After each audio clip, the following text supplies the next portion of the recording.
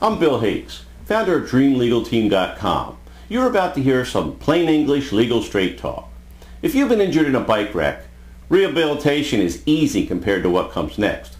Unfortunately, it's having to deal with those nice people at the insurance companies. You might have noticed that they often have attitude issues. Over the years, I've observed that they show about as much respect for motorcycle accident victims as the driving public shows for motorcyclists in general. If you ride, you get the point. Don't let the suit fool you. I've been a biker for over 40 years. I ride. I know.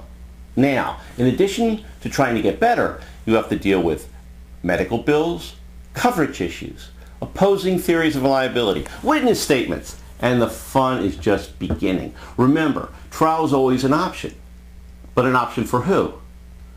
The guy with the checkbook always decides. If they don't want to compensate you fairly, then trial is your only option. Better bring a good lawyer, because they always do, sometimes several. If you've been injured in a motorcycle accident, strap on the old helmet because you're in for a rough ride. If you think you might need a skilled, knowledgeable advocate to get you through this, I can help. This is Legal Straight Talk from DreamLegalTeam.com.